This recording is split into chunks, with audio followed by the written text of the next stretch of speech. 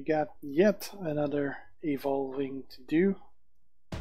This time it's gonna be Dolph Ziggler. We're gonna get him 3 star bronze. Obviously a great trainer. Let's do this.